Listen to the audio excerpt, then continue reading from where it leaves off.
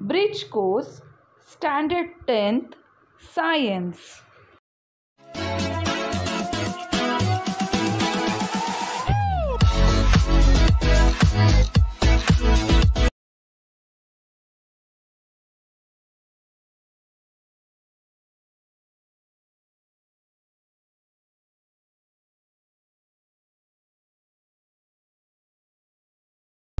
Hello students.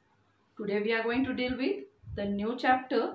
The name is ninth chapter Environmental Management. Uh, I think so you all have heard about uh, news, various news which tell us uh, that uh, in this area there will be uh, heavy rainfall or in certain area a storm is coming or in um, various uh, earthquake or anything else all these are given. All these come under this topic. Let us study. Weather and climate. This is the very important topic of this chapter. While studying all this we come across certain words. Those are weather and climate this is the first topic of this chapter. So let us see what do you mean by weather and what do you mean by climate. So it may come that give difference at least one difference between uh, weather and uh, and climate. So let us see what exactly it tells us. It is weather is atmospheric condition at a specific time at a specific particular गावामध्ये त्यावेळेस त्या दिवशी दिलेल्या दिवशी काय तापमान आहे? जर आपण ह्याची स्टडी केला तर that study is called as study of weather so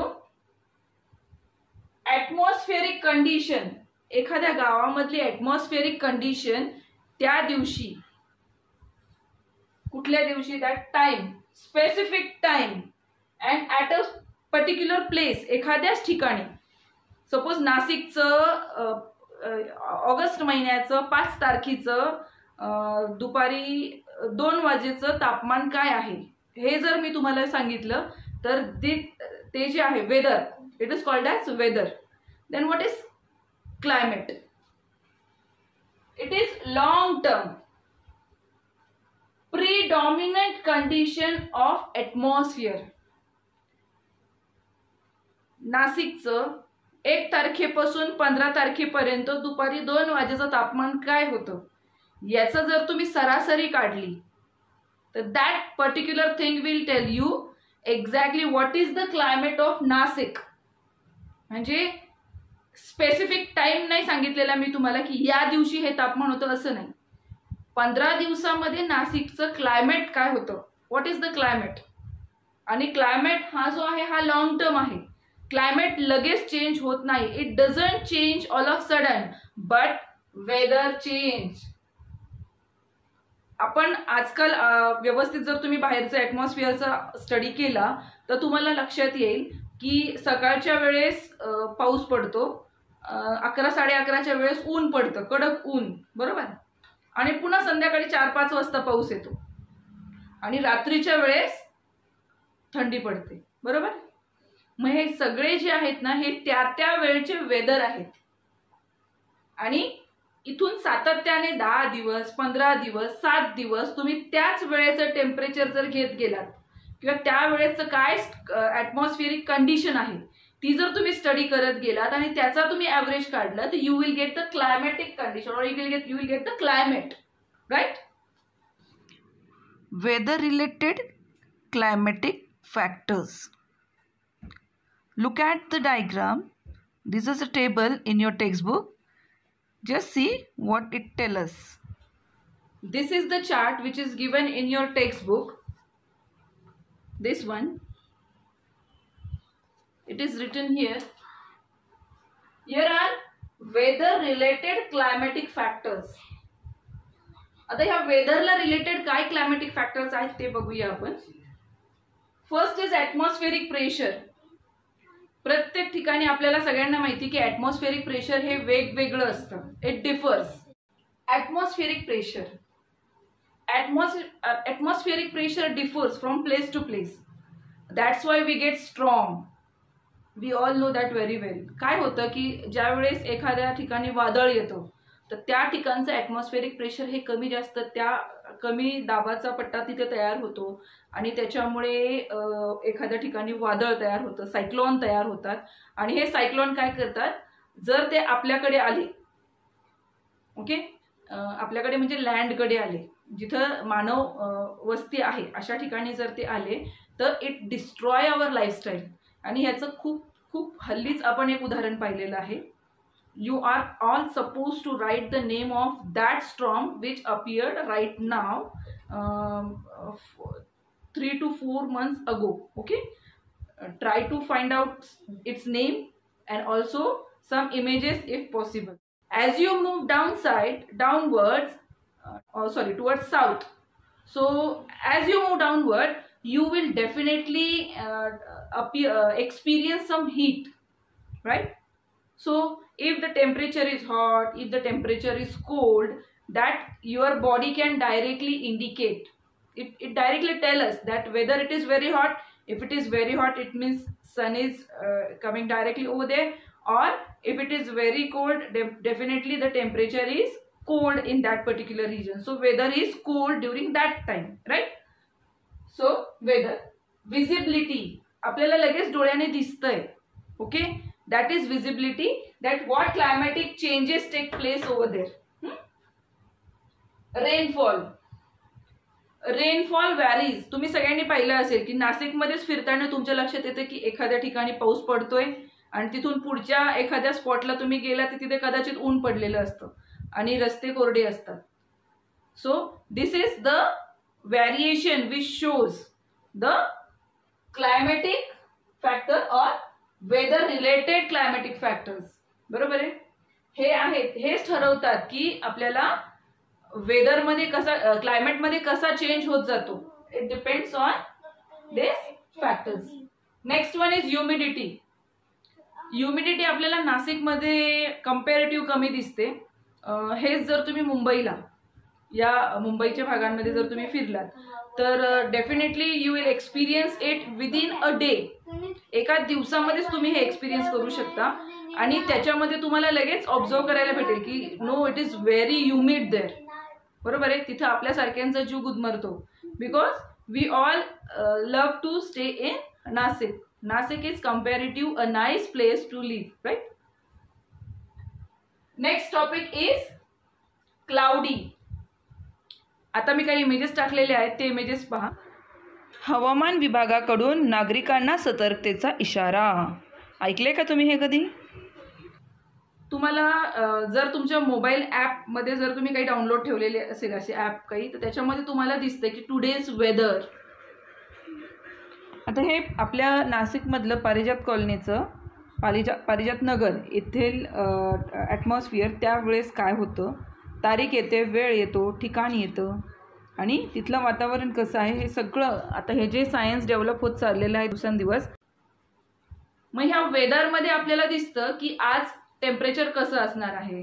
Weather it is going to be cloudy और weather it will be a fresh cloud okay हे आपल्याला क्लिअरली दिसतं की आपल्याकडे आपल्या भागामध्ये पाऊस पडणार आहे किंवा नाही पडणार आहे okay and the last is sunlight तुम्ही जर बातम्या पाहत असाल if you are watching news and at the end of the news they tell us the weather report and in that weather report if you observe की पूर्ण India दाखवलेला असतो आणि पूर्ण इंडियामध्ये तुम्ही जसं जसं ते वेगवेगळ्या स्टेटमध्ये दाखवतात त्या त्यावेळेस त्या स्टेटचं काय तापमान आहे.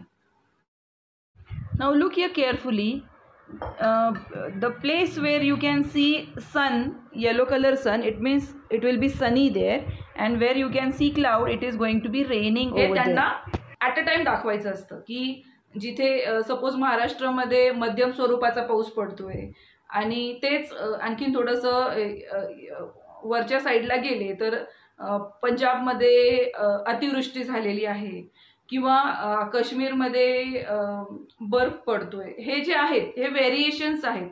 किंवा तुम्ही आणखीन एखाद्या गावाचं नाव घ्या. सपोज गुजरात. गुजरातमध्ये कडक ऊन पडलेलं आहे. राजस्थानमध्ये कडक ऊन आहे.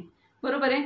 दॅट इज सनलाईट सनलाईट सुद्धा एक फॅक्टर असा आहे की जो आपल्याला क्लायमॅटिक चेंज कसा होतो ते ऑब्झर्व करायला मदत होते. Metrology our very next topic is metrology What do you mean by meteorology? Let us see it. The science that studies the interrelationship between on the uh, between in the various components of air, natural cycle, geological movements of earth and climate. मग या सगळ्यांमध्ये काय inter relationship आहे या सगळ्यांचा मिळून जो study होतो that study is called as metrology it is a branch of science which deal with study of all these inter relationship between all these factors which are these factors air हवेमध्ये काय काय बदल होत आहेत? बरोबर? Natural cycle आपल्याला सगळ्यांना माहिती आहे आपण या अगोदरच्या धड्यांमध्ये नॅचरल सायकल भरपूर स्टडी केलेली आहेत तर ह्या नॅचरल सायकल ओके त्याच्यानंतर geological movement of earth geological म्हणजे भूगर्भामध्येच काय काय बदल होत आहेत काय काय हालचाली चाललेल्या आहेत या सगळ्यांचा डीपमध्ये स्टडी केला जातो. किंवा पृथ्वीवर वेगवेगळ्या ठिकाणचं काय काय हालचाली चाललेल्या आहेत ज्या नॅचरली असतात ॲब्सोल्युटली त्याच्यामध्ये तुम्ही आणि मी इन्व्हॉल्व्ह नसतो पण. पण त्या आपोआप ती मुवमेंट होत असते पृथ्वीची. आणि त्या मुवमेंटचं स्टडी करण्याचा जो काही सायन्स आहे that is again metrology and climate क्लायमेटमध्ये जे काही वेगवेगळे बदल होत आहेत.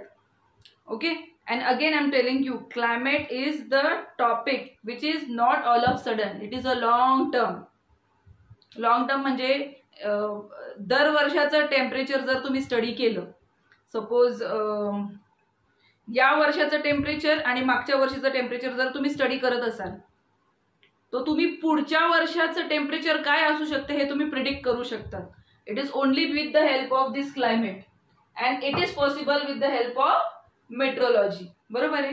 म्हणून आपण जेव्हा बातम्या पाहतो तर त्या बातम्यांमध्ये सांगितलं जातं की पुढच्या अठ्ठेचाळीस तासामध्ये अतिवृष्टीची संभावना आहे. बरोबर आहे ना? मग ही अतिवृष्टी म्हणजे ही पुढच्या अठ्ठेचाळीस तासात कशी होणार आहे? तर हे again they all compare the climatic conditions आणि कंपेअर केल्यानंतर ते बरोबर पुढचा अंदाज लावू शकतात की अठ्ठेचाळीस तासामध्ये हवामान विभागाकडून नागरिकांना सतर्कतेचा इशारा. येत्या अठ्ठेचाळीस तासात वादळी वाऱ्यासह पावसाची शक्यता. मराठवाड्यातल्या सहा जिल्ह्यांना मुसळधार पावसाचा अंदाज. अतिवृष्टी होऊ शकते. किंवा there will be a heavy rainfall in a specific region so the people should be aware over there okay and it really happens आणि हेच नाही तर तुमच्या तुमच्यापैकी भरपूर जणांकडे जर कृषीचं कार्ड असेल तर त्या कृषीच्या कार्डमध्ये सुद्धा तुम्हाला भरपूर वेळेस ते सांगतात की हवामानाचा अंदाज काय आहे. म्हणून शेतकरी लोकांना अगोदरच कळतं की कुठे पाऊस पडणार आहे कुठे काय आहे.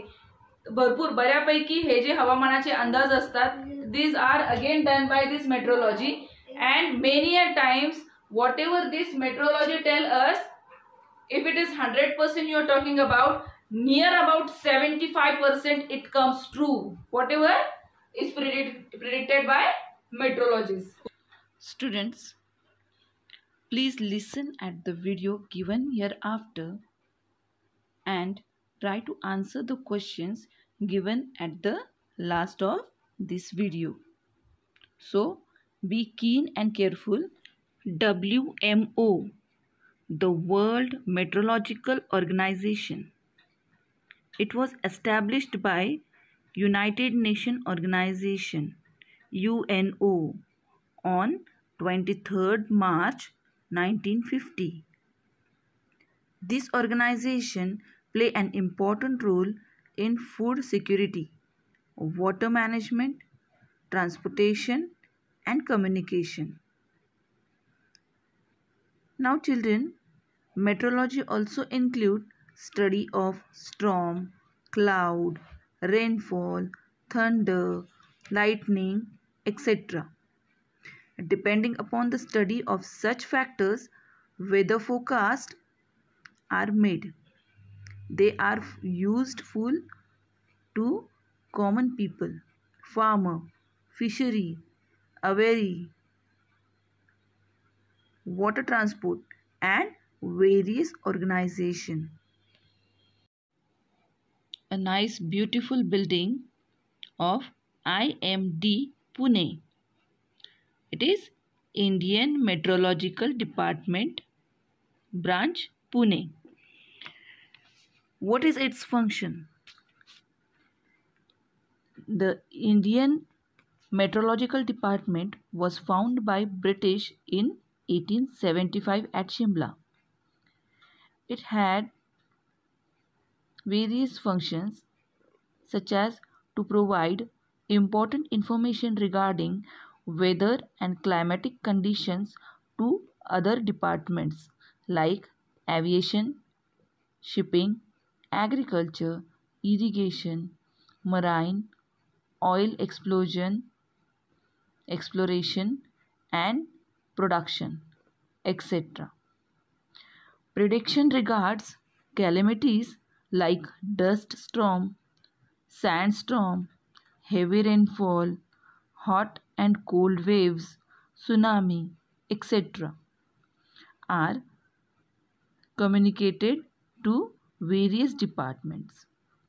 All type of mass communication media and all citizens for this purpose has launched several satellites equipped with high class technology observatories at several locations are doing excellent work in the analysis of information released for all the these satellites. Solid waste management. Here is the activity for you. Observe the garbage in the dustbin in your classroom or at your home. Make a list of various materials in it and think about how does these material can be properly disposed of आता आपल्या कचऱ्यामध्ये कचऱ्याचा डब्बा आहे. त्याच्यामध्ये जे काही तुम्ही कचरा टाकलेला आहे दिवसभराचा त्यामधला कुठला कचरा असा आहे की जो रियुजेबल आहे? किंवा जो आपण व्यवस्थित डिकम्पोज करू शकतो असा कचरा वेगवेगळा करायचा आहे. आणि असा कचरा जो डिग्रेड होत नाही जमिनीमध्ये गाडल्यानंतरही कुजत नाही असा कचरा बाजूला करायचा आहे. आणि शक्यतो असा कचरा होऊन द्यायचा नाही. Waste materials are classified in two categories biodegradable waste and non biodegradable waste biodegradable waste म्हणजे जे मायक्रोब्स आहेत ते त्याला डिकम्पोज करू शकतात सडवू शकतात कुजवू शकतात असे बायोडिग्रेडेबल वेस्ट असतात. की जे जमिनीमध्ये टाकले तर ते तिथे डिग्रेड होऊ शकतात whereas some waste are non biodegradable you can take the example of plastic you can take example of thermocol you can take example of various metals these all things are not degraded by any microorganism any microbes so we should think and try to uh, not to use all these uh, waste material in our day to day activity so that we can prevent and keep our atmosphere and nature clean. You can take example of plastic. We all know mumbai is uh, facing lots of trouble in rainy season due to this plastic. All the drainage system are getting choked up and the water is accumulated into the city. So all life is disturbed. Now let us see harmful effect of solid waste. All these solid waste which we are making let us see what is exactly happening due to it. Effect on biodiversity. We all know our nature is full and rich with biodiversity. It is our responsibility to preserve this biodiversity. But due to excess use of solid waste somewhere somehow this biodiversity is being disturbed.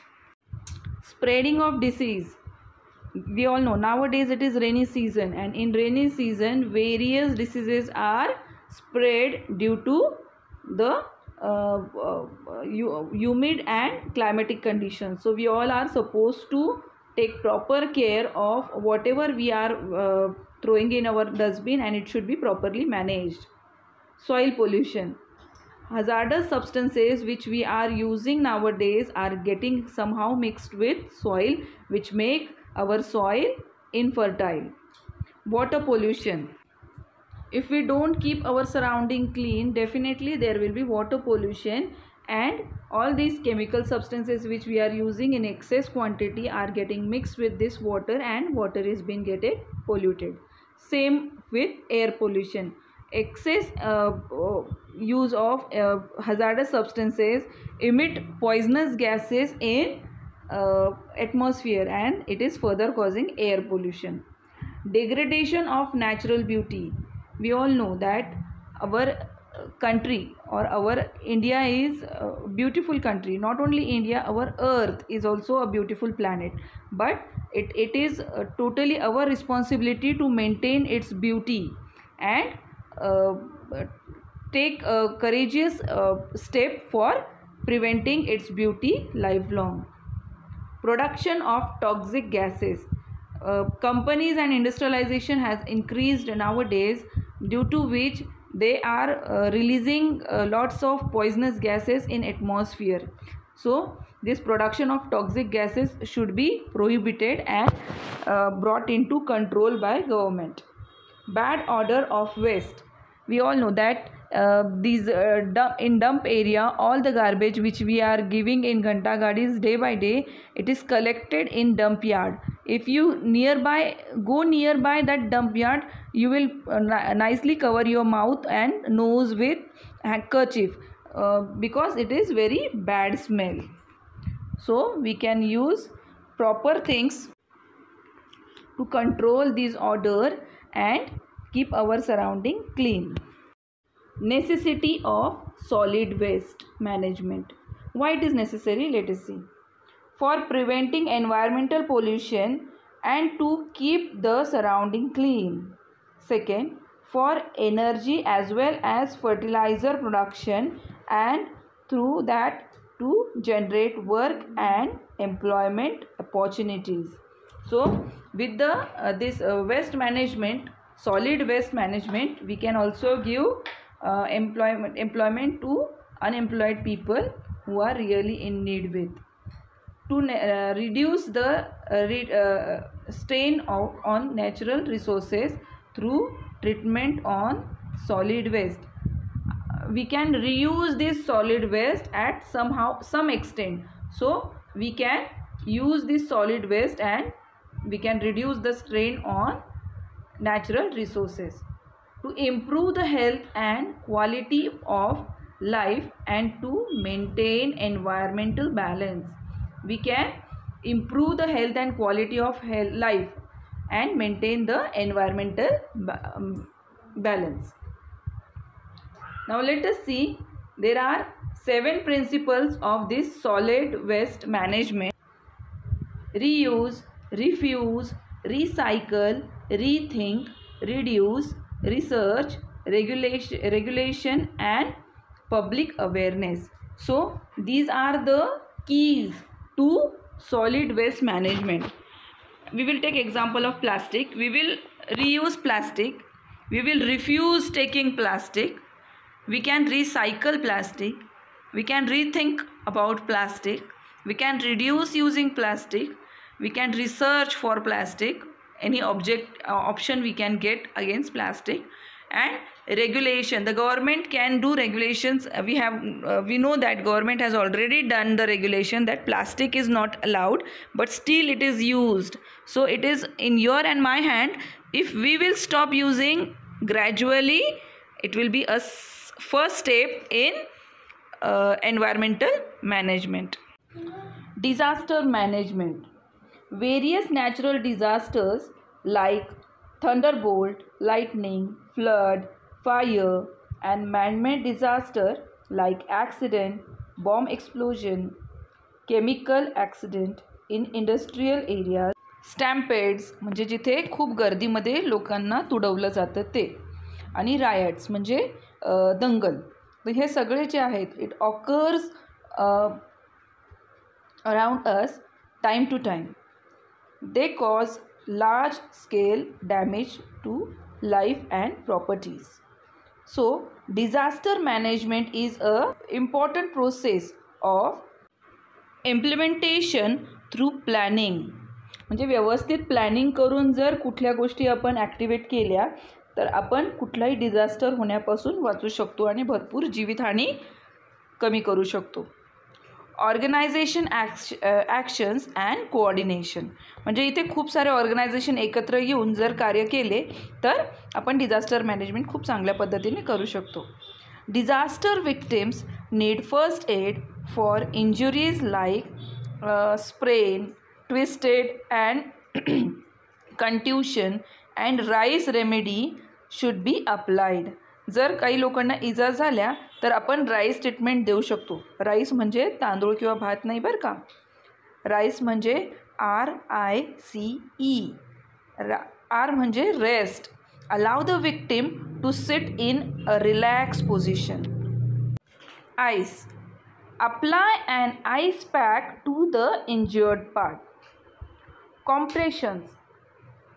After the ice pack treatment the injured part should be massaged gently elevate it is the injured part should be kept in a raised elevated position थोडंसं वरच्या बाजूला तो part धरला पाहिजे so that blood circulation can be done to that particular place let's solve exercise on which thing the favorable and unfavorable effects are being seen because of weather what need to be done to reduce this effect so you all are supposed to write this answer yourself question 2 explain difference air and weather या दोघांमध्ये काय फरक आहे तो लिहायचा आहे question three how does our surrounding get polluted how does it get polluted you are supposed to justify this statement question 4 what exactly is the difference between following pictures a and b what needs to be done to maintain the situation in the picture b आता इथे दोन picture दिलेत ए आणि be a आणि प यामध्ये बघा ए चित्रामध्ये खूप सारा कचरा फुटपाथवर पडलेला आहे आणि बीमध्ये तोच फुटपाथ एकदम स्वच्छ झालेला आहे. स्वच्छ केलेला आहे. तर त्यांनी काय विचारलेलं आहे? याच्यामध्ये काय फरक आहे? आता हा फरक तर मी तुम्हाला सांगितला आहे मग आपल्याला जर बी सिच्युएशन बी पिक्चर जो आहे तो जसंचा तसं ठेवायचं असेल तर आपल्याला काय करावं लागेल? तर आपल्याला कचऱ्याचं व्यवस्थापन करावं लागेल.